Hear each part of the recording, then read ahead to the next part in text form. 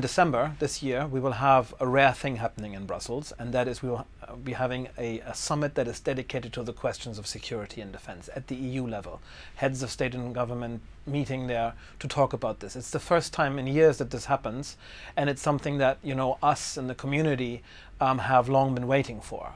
And now the question is, what can we realistically expect from this thing to happen? Um, security and defense, the military aspect of foreign policy is something that the EU is notoriously very weak on, and where it's also divided. Member states don't see eye to eye uh, on where the EU should be developing as a security um, actor. And um, this has been simmering for a long, long time. Um, and now, for the first time, they really look at it in a more concerted way. And what this means is that Brussels, the machinery, the council, the commission, everybody there is now, you know, starting to think about this stuff. One of the fundamental problems within the EU uh, as a defense player is that we don't have a cohesive kind of outlook on the world. Our threat assessments differ greatly. Our levels of ambition differ greatly. And in order to at least make a little bit of progress on that side, what I'd suggest is streamline the kind of analytical tools that the EU has.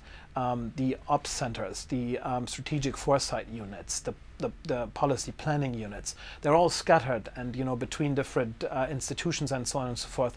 This cannot be um, addressed entirely. Some of it will have to remain the way it is, but we need to streamline it more so that we create a shared view on the world and a shared threat assessment on which we can then base a proper defense debate. So you have three players in Europe neither of which is really leading. And that's a combination that, you know, leads to a, a, big vacuum.